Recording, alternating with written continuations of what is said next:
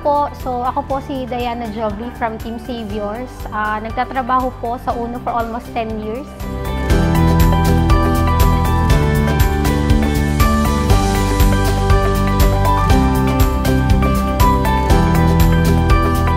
At salamat po sa UNO dahil nakapag-claim po ako ng insurance under Liberty Insurance.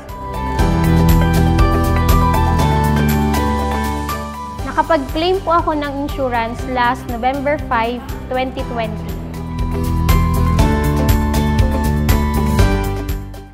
Nataon po, 'di ba, na nabaril po yung tatay ko last 2020 and malaking ah, kagulatan po para sa amin lahat, especially po sa akin. So, buti na lang po, may insurance ang company natin, which is ang UNO. So, malaking tulong po, especially po sa funeral expenses po ng tatay ko.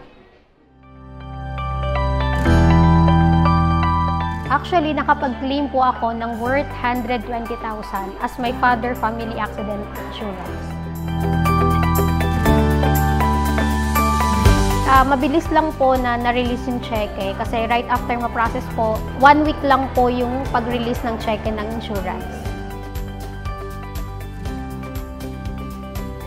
Sobrang laking naitulong po sa amin ng ah, Liberty Insurance, lalong-lalo na po sa family ko, pagdating po sa funeral expenses po ng tatay ko.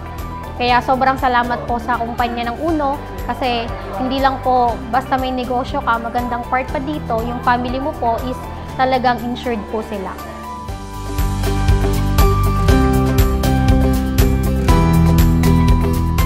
Mensahe ko po sa mga kapwa ko, taga-uno, di ba, na nag-curious or nagtatanong about our insurance, So, totoo po siya, literal, kasi ako po, literal, ah, na-experience ko po na makapag-claim ng 120,000 under Liberty Insurance. Kaya sa lahat po ng mga kauna na nandito, okay, be sure po na nasubmit nyo yung mga insurance nyo sa inyong website para anytime po, di ba, na dumating kayo sa punto na kagaya ng situation ko, magagamit nyo po or makiklaim nyo po kaagad yung insurance ng family nyo.